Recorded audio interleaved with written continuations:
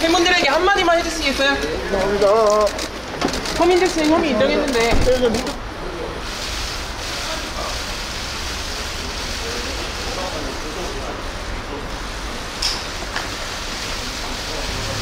형이 이거 있으신가요?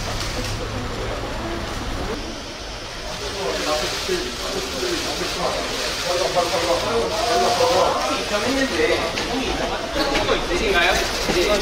죄송합니다. 팬분들에게 한마디만 해주시겠어요? 죄송합니다. 서민재스는 형이 인정했는데 네, 저 민주